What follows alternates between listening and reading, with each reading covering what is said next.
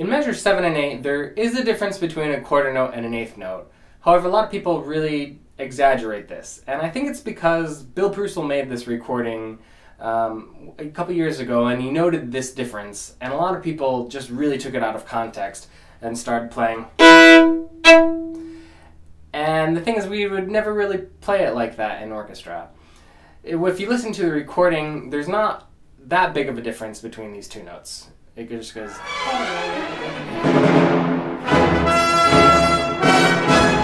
And so we just wanted two two pretty nice chords. You can make a difference.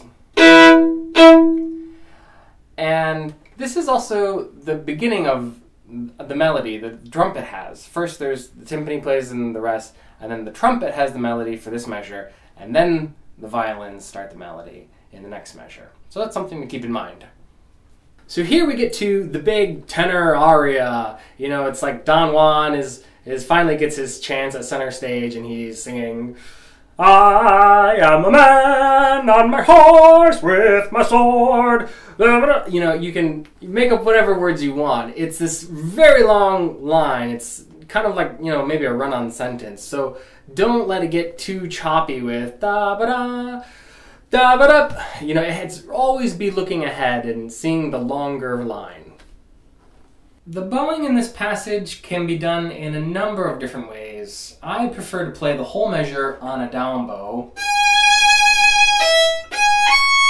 which is how the New York Phil does it, and if they do it that way, that's good enough for me.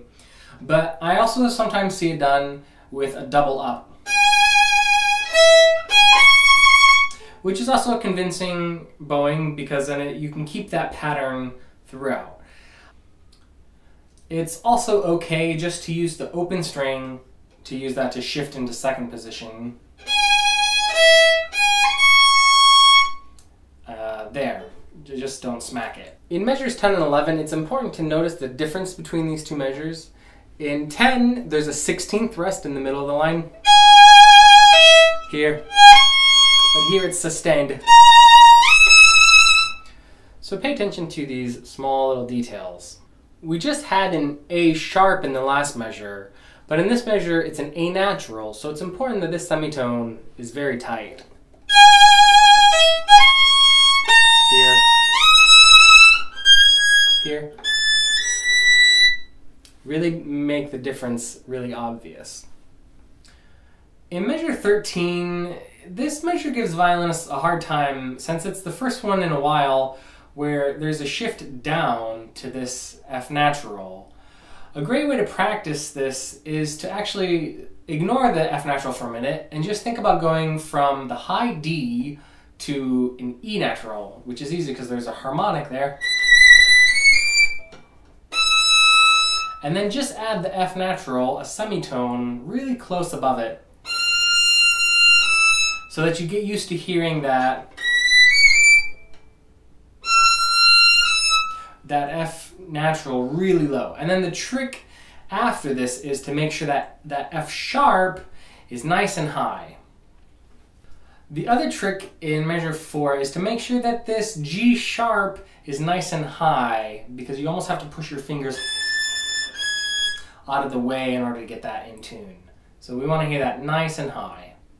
And this is a really fun measure because Strauss makes really clever use of these repeated accented appoggiatures. They're always leading to the next note, probably like Don Juan who went from woman to woman, just never staying too long. So in this measure we get a little bit of a breather while another instrument group has the melody. Which brings us to question number one in tonight's game. Know the score! Jimmy. Okay, yeah, yeah, let's do this. For the chance to make $75 for service and the opportunity to perform for the lifetime with the Sleepy River Symphony Philharmonic on the legendary conductor Kymoko Stan, who has the melody in measures 17 through 20? Oh, I know I should know this. I, I, I know I should know this. Would you like to use one of your lifelines? Yeah, you can either check the score, listen to a recording, or call a. Let's, let's consult the score. Okay, we're gonna check the score.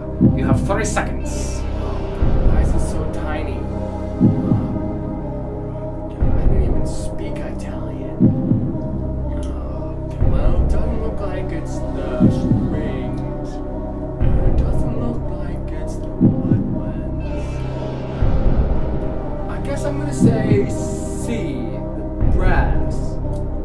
That final answer? Yeah, that's my final answer. Jimmy, you are correct! Yeah? I won? Enjoy your new position with the Sleepy River Symphony Philharmonic!